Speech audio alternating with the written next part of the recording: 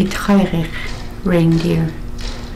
Chawach, sea lion. Isurich, seal. Chowhich, halibut. Adhidach, codfish. Hanuch, red salmon. Chavichach, king salmon. Angsus, berries. Alugach, the root of a chocolate lily.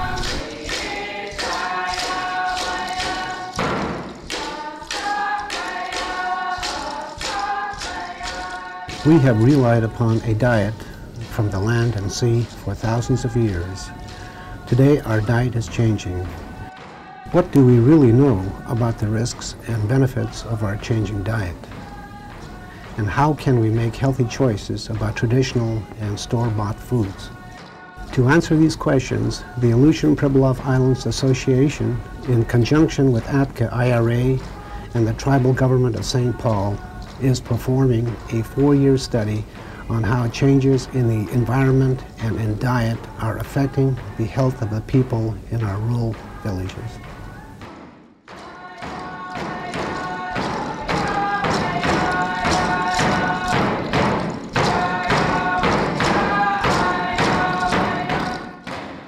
The diet of the residents of the communities in the study is more than just the sum of their nutritional intake.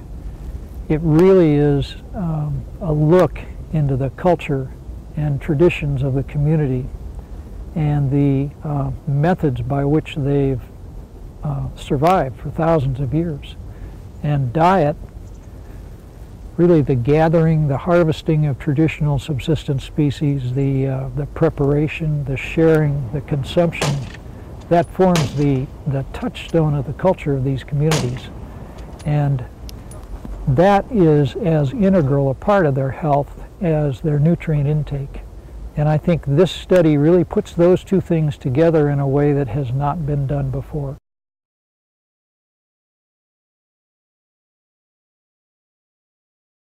1,100 miles from Anchorage, in the middle of the Aleutian chain, lies the village of Atka. Because of its remoteness and its natural abundance, Atka continues to rely more heavily on traditional foods than any other village in the Aleutian chain.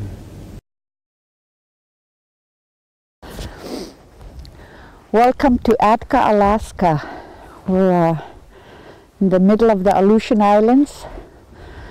Um, honest to goodness God country.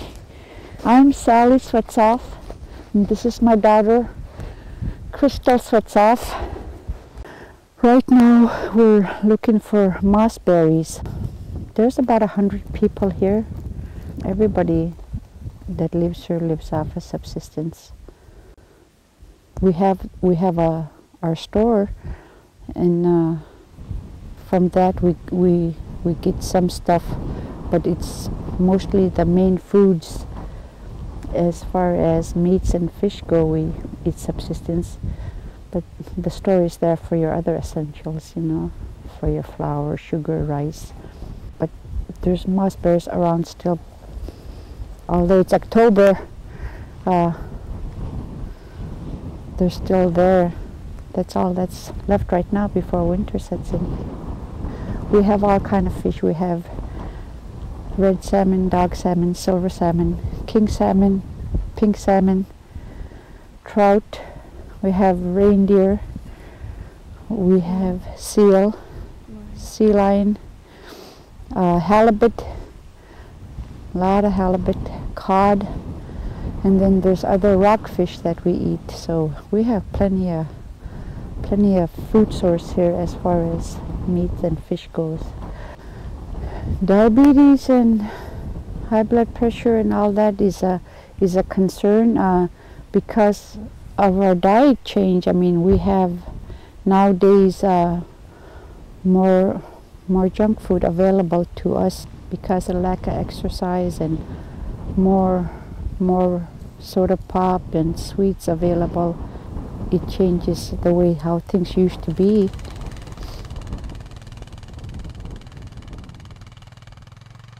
In the communities of St. Paul and Atka, it will be important to look at prevalence rates of diseases that are related to diet and diet change, like diabetes and obesity, and um, to a lesser extent, hypertension.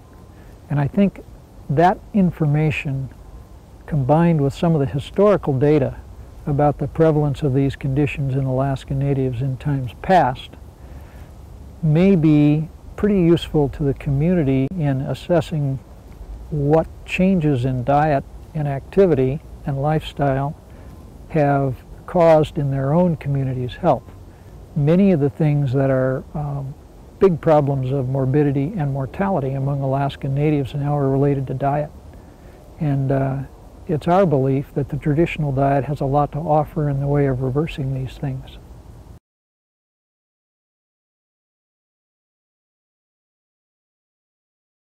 Diet has traditionally connected rural communities throughout Alaska. It is a common link to the land and culture. However, each community is unique with different environment, lifestyles, and diet. This study will focus on four main questions.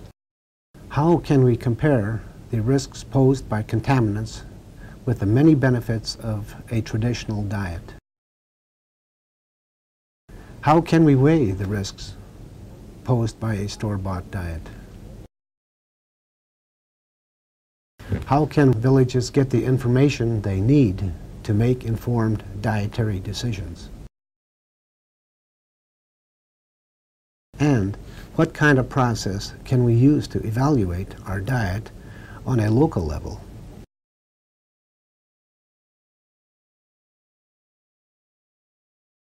The community of St. Paul in the Pribilof Islands is located in the Bering Sea, 750 miles from Anchorage.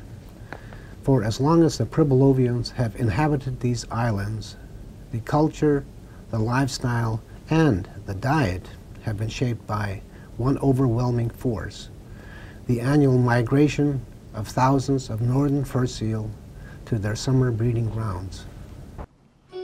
I'm Aquilina Debbie Lestenkoff, and I grew up on St. Paul Island. I work with the tribal government of St. Paul and their ecosystem conservation office as a co-director. I think by the end of this four-year project that we're working on, risks and benefits of eating traditional foods. We will find contaminants in traditional foods how much or how little I don't think is going to really be important in as much as where the contaminants are located within the animal, whether it's in the brain, whether it's in the bones, whether it's in the kidney. Uh, we're, we're going to be finding them in places and having to make decisions based on where we found them.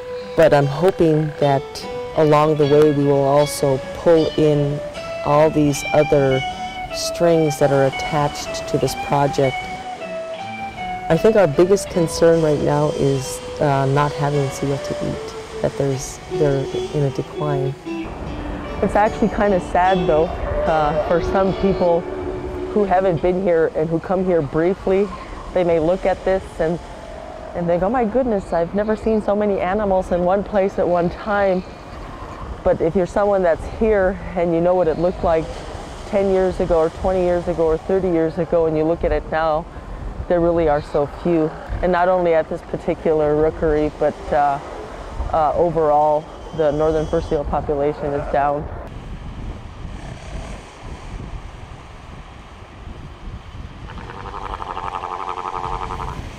The whole issue around community traditional food safety is related to the transport of mostly man-made persistent organic contaminants from the lower latitudes where they're produced and used to the far north where they get deposited and stay for extended periods of time.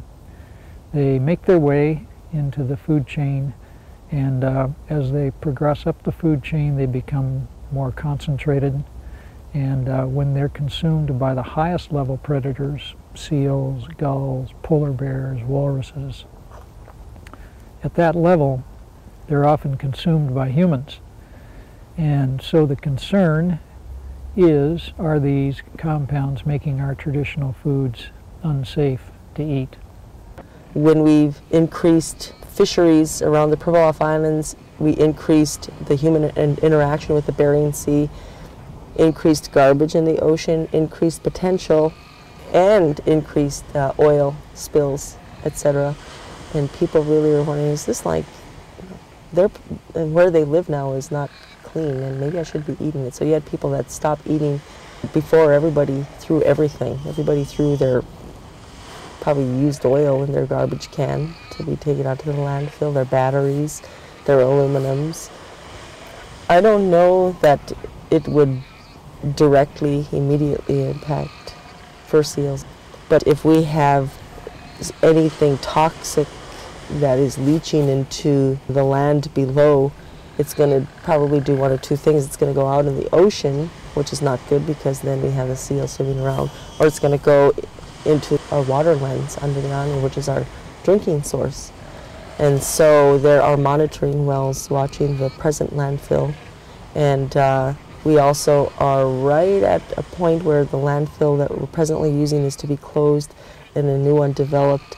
And we need to take advantage of this opportunity to introduce new concepts with how we deal with our garbage.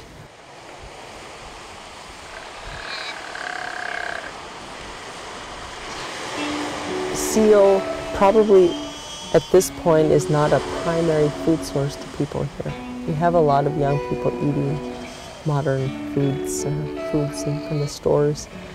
Uh, but again, that doesn't mean we don't put any effort into finding out more about the seal as a food source and whether it's important, what are the benefits and what are the risks. It's because we don't know if we end up one day needing to really depend on the seal to be our food full time again, like it was in the past. I think we need to, we owe it to uh, humankind to, to, to know the value of those foods. And not so much that they're traditional in as much as it is promoting eating from where you live. If I eat seal, I'm not expecting a farm somewhere in the Midwestern states to provide beef for me. What is, how is beef impacting that particular environment by being provided for me way up here in Alaska? What are those risks and benefits?